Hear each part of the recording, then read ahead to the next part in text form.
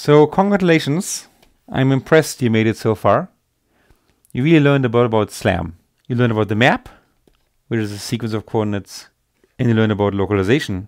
And L and M are really the important letters here. The simultaneous and the end are not that essential. We put all of those into a big matrix omega and a vector C. And every time we got some relative information between poses, we carved out some stuff in here.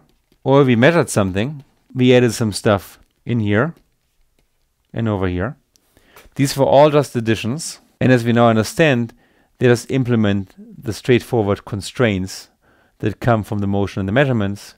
And then the key thing was that we could solve with a simple piece of equation for the path and the map at the same time.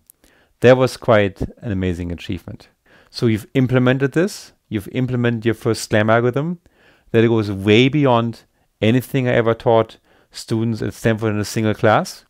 Congratulations for doing this. So this is the, um, the last and final class.